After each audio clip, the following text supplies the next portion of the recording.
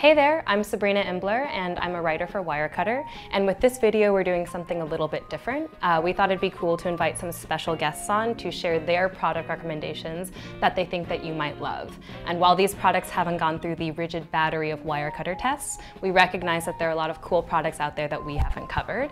Uh, so with that, that brings my attention to the man sitting beside me. Alan Henry is the editor of Smarter Living at the New York Times, and before that, he was the editor-in-chief of Lifehacker.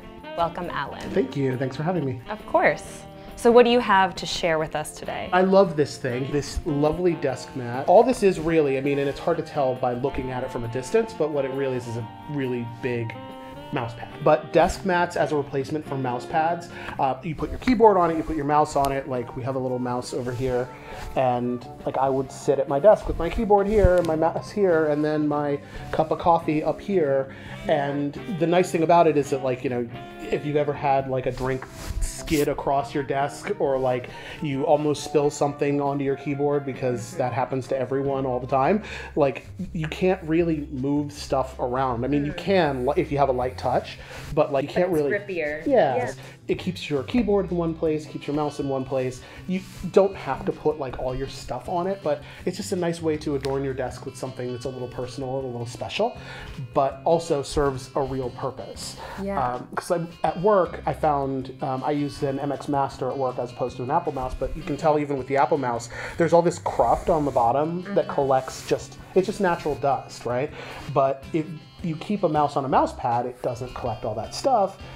If you have a huge desk mat, then nothing you put on your desk will collect that stuff. So it just keeps things a little bit more tidy. So I imagine this also kind of fixes the problem of your mouse going um, over the mouse pad Yes. in an overzealous click. which happens to me all the time. Mouse pads in general are really small, and there's a reason most people don't bother with them anymore unless they have used it forever. So this actually gives you a mousing surface you can use without flinging your mouse way way off of the, the pad and that's also part of the reason why gamers love it because like if you have your mouse sensitivity set really low or something and you like these big sweeping movements you know that if you have a tiny mouse pad you're way off the side of your desk so yeah, I can imagine you at your Smarter Living desk being a very zealous yeah, mouser. yeah, I'm a very, very vigorous editor.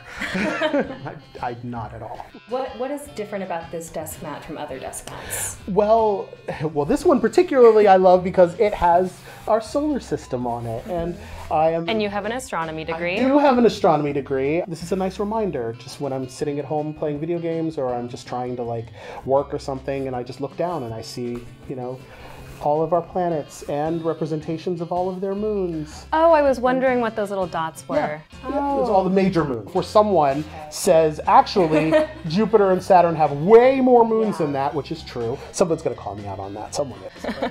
Well, I imagine there are like lots of different patterns and colors that you could get to like display Yes. your former undergrad degree that you no longer use. exactly. You no longer use in whatever career you have. So if someone wanted a, a desk mat of their own, uh, where would they go to buy it? You can get them just about anywhere. The only problem uh, and thing you have to look out for when shopping for one is uh, when you shop around, look for something that is labeled mouse pad or mouse mat, uh, because what you'll find is a lot of blotters.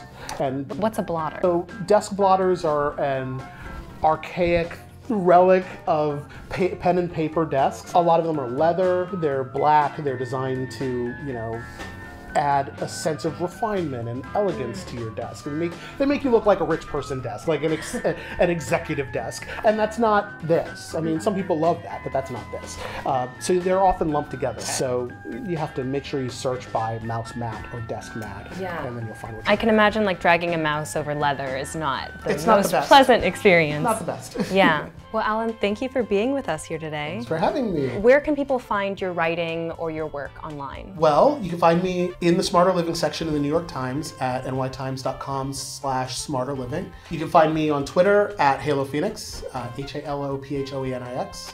Fast spelling. Uh, I try. I say it a lot. Talk to me. I talk back. I talk to everyone, and well, not everyone, but most people.